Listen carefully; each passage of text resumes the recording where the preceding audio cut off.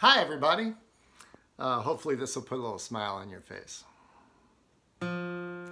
She said she's leaving me for Dr. Fauci while I was lying on the couch. She said that all my Zoom friends were a bunch of jerks.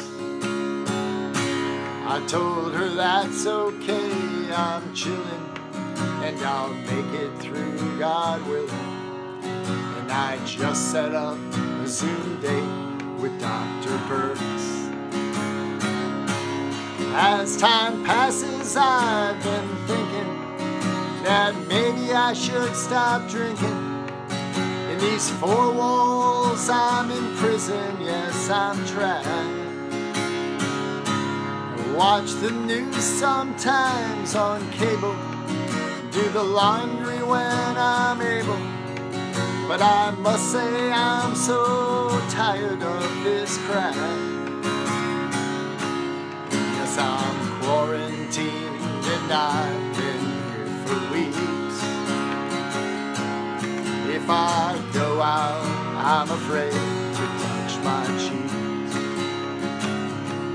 Now my woman's left me stranded said she'd call me when she landed, but she's out with the politicians and those creeps.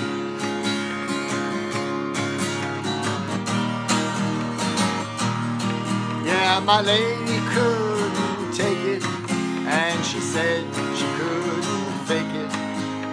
She's headed to D.C. with her bags and masks. Though our government's full she said that Fauci stoked her fires, and to be near him was all that she could ask. Yes, I'm quarantined and I've been here for weeks.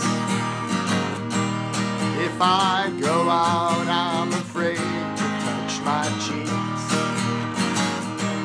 Now my woman left me stranded.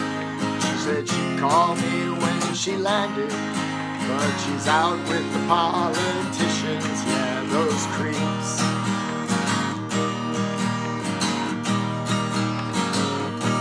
So she left me for Dr. Fauci while I was lying on the couch. She said if she didn't leave, she just might go berserk.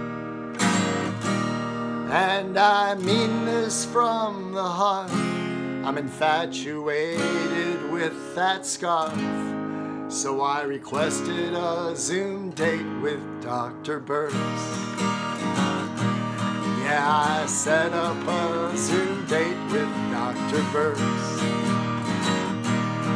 Yeah, I'm quarantined and I'm going berserk. Thank you very much, everybody. Hope you enjoyed it.